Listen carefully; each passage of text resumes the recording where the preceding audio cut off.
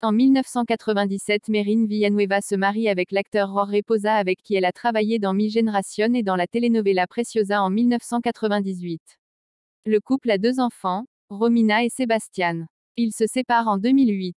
En 2009, Mérine commence à fréquenter l'acteur Eduardo Santamarina avec qui elle se marie et a une fille nommée Julia.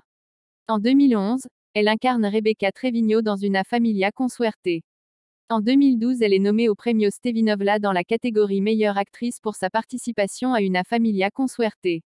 En 2013, Mérine joue dans Mentir para vivir produit par Rosie Ocampo aux côtés de David Zepeda. En 2014, elle rejoint l'équipe artistique de Mi Corazón et Tuyo avec Silvia Navarro, Jorge Salinas et René Casados. La même année, elle participe à la série CQ en incarnant Rebecca Aranco de Barragan. En 2015, elle est nommée au Premio Stevinovla dans la catégorie meilleure antagoniste pour son rôle d'Isabella, dans Mi Corazón et Tuyo. Puis on la retrouve dans l'adaptation théâtrale de cette production. En 2016, elle participe à 10 épisodes de la telenovela de Mapat, Corazón que miente.